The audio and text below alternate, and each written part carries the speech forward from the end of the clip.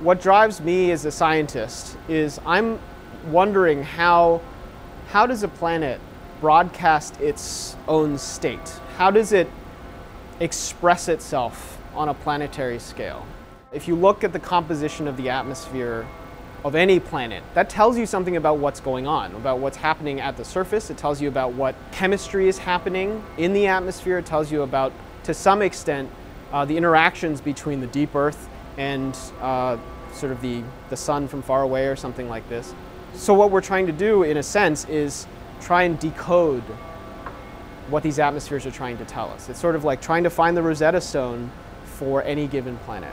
In Laurence Lab, you can do these very high precision measurements that can figure out the fraction of, of these rare uh, combined isotopes and to figure out the uh, processes that might influence these isotopes and the formation of these rare uh, molecules. What we're effectively doing is we're, we're looking for a needle in an invisible haystack.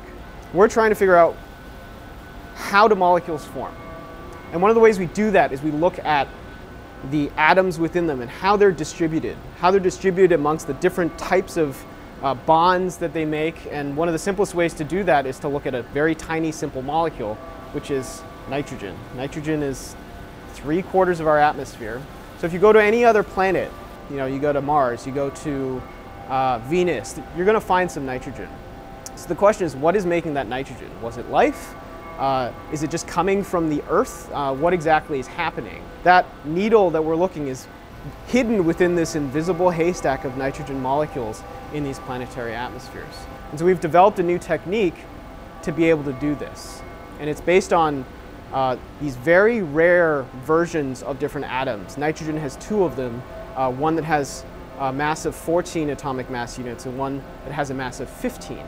And when you bind the two mass 15 ones together, you get a 15N, 15N molecule. And we're looking at the abundances of these within our atmosphere and also coming from different processes. For example, coming from microbes that will eat and chew up things like fertilizer or um, other available nitrogen species uh, in soils and, the, and in the oceans.